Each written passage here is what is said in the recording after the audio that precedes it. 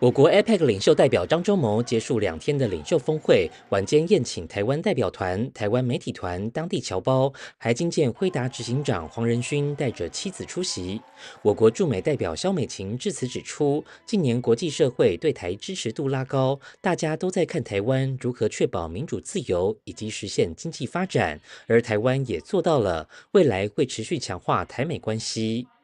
我们坚信和平稳定是台湾繁荣及区域经济发展的核心价值。和平稳定是台湾人民的期盼，也是国际社会共同的信念。台湾将持续秉持这个良善的坚持与信念，强化台美关系，强化与国际社会的互动，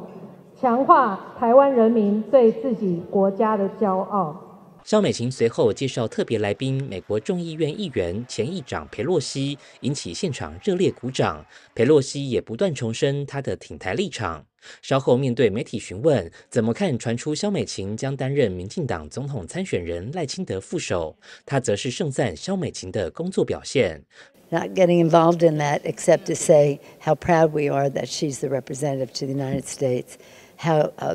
she's been really an intellectual resource, a strategic thinker, and a uh, just a wonderful diplomat. That means, you know, listening and and understanding some time it takes a little longer for some people to arrive at the right decision, but she's always been very patient. 裴洛西最后还为台湾做起美食外交，说起自己九零年代末期到台湾访问时，发现好的中华料理厨师都在台湾，所以他要告诉大家，想吃最好的中华料理就去台湾。中央广播电台记者杨仁祥、谢嘉欣在美国旧金山的采访报道。